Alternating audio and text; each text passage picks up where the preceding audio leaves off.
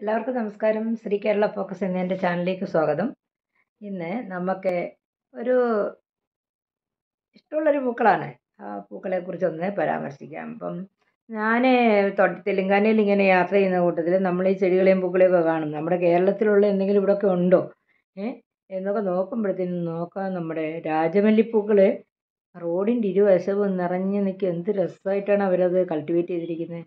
ഞാനിപ്പോൾ തിരക്കുള്ള സ്ഥലങ്ങളിൽ നമുക്ക് വണ്ടി നിർത്തിയിട്ട് എടുക്കാൻ പറ്റത്തില്ലല്ലോ. വീഡിയോ എടുക്കാൻ വിഷമം വരുന്ന കാരണം തിരക്ക് കുറഞ്ഞൊരു സ്ഥലത്ത് നിന്നാണ് ഞാനിത് വീഡിയോ എടുത്തിരിക്കുന്നത്. അപ്പോൾ അവിടെ തന്നെ കുറച്ചേ ഉള്ളൂ. പക്ഷേ വരുന്ന ഭയങ്കര തിരക്കുള്ള ഭാഗങ്ങളിലെല്ലാം ഇഷ്ടം പോലെ പൂക്കളും അതുപോലെ എയർപോർട്ട് റോഡിലോട്ട് പോകണം. എന്ത് രസമാണെന്നറിയാം? അവർ ആ ഒരു അവർ ഈ ചെടികൾക്കുള്ള പ്രാധാന്യം ഭയങ്കരമായിട്ടാണ് നമ്മൾ നമ്മുടെ ചെടികളെ ഒന്നും നമ്മൾ സംരക്ഷിക്കുന്നില്ല. നമ്മുടെ നാട്ടിലെല്ലാം നമ്മൾ ദൈവം അനുഗ്രഹിച്ചു തന്നിരിക്കുക കാലാവസ്ഥയൊക്കെ. ഇവിടെ എന്ന് പറഞ്ഞാൽ അവർ ടാങ്കറിൽ വെള്ളം കൊണ്ട് ഒഴിച്ചിട്ടാണ് ഇതെല്ലാം ഉണ്ടാക്കുന്നത്. നമ്മുടെ നാട്ടിൽ ആരും അതിനൊന്നും മെനക്കെടുന്നില്ല. അവരുടെ പരിസരത്തെ അവർ വളരെ ഹരിതാഭമാക്കിയാണ് വെച്ചിരിക്കുന്നത്. അപ്പോൾ ആ കാര്യങ്ങളെല്ലാം നമ്മളിവിടെ ഒന്ന് മനസ്സിലാക്കണം.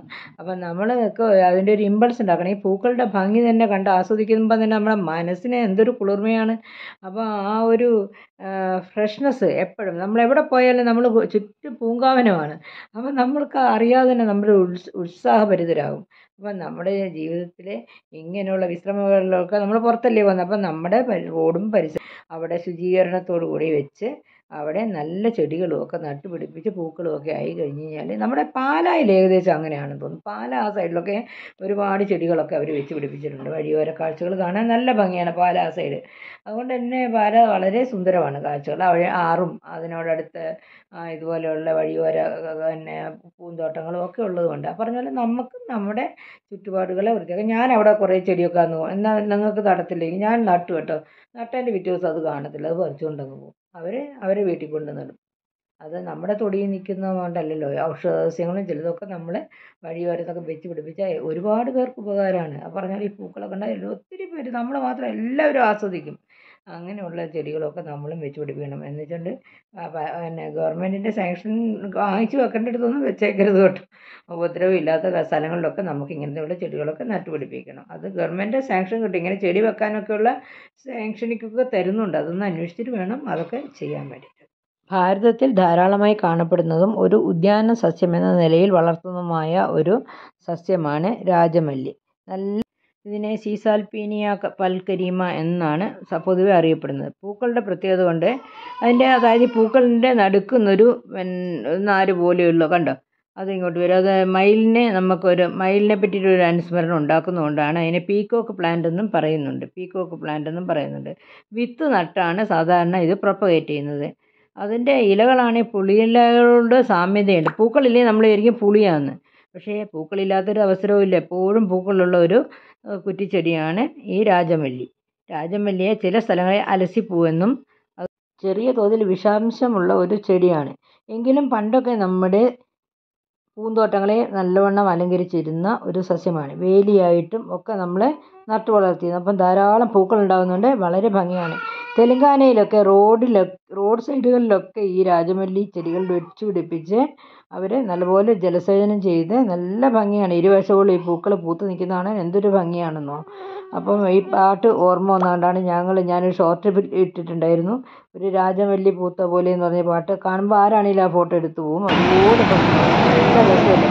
പല ഓറഞ്ച് റോസ് യെല്ലോ പറഞ്ഞ പോലെ പല സൈസുണ്ട് ഇതിന്റെ ഇതാണ്ട് ഇതിന്റെ കായ്കൾ കണ്ടോ?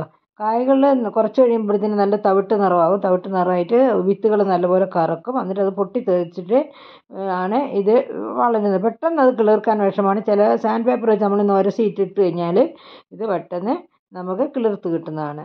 അപ്പോൾ കുട്ടികളുടെ വീട്ടിലൊക്കെയാണ് ഇച്ചിരി അകലത്തോട്ട് നടുക പിന്നെ കണ്ണൂർ ദേശത്തൊക്കെ അലസി എന്ന് പറയുമ്പോൾ ഇതിനൊരു ദുർപ്രചാരണം കൂടിയുണ്ട്. ഇത് വെക്കുന്ന വീടുകളിൽ ചിലപ്പം വഴക്കുണ്ടാകുമെന്നും ഒക്കെ പറഞ്ഞുകൊണ്ട് അപ്പോൾ അലസുക.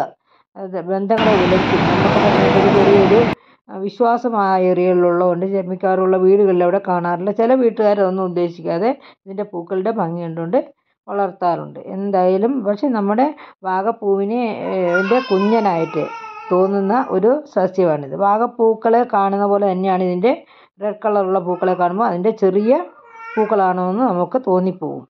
അതുപോലെയാണ്. അപ്പോൾ ഇത് ഒരു വലിയ ഒരു വൃക്ഷമൊന്നും ആകത്തില്ല. എന്നാൽ ഒരു തീർത്തും കുറ്റിച്ചെടിയല്ല. ഒരു ഇടത്തരം ചെടിയാണ്.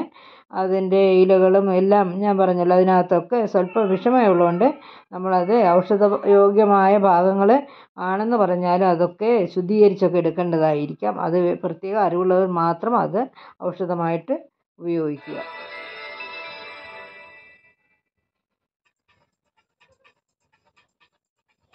ഒരു രാജമല്ലി വിടരുന്ന പോലെ ഇതളെഴുതി മുന്നിലൊരു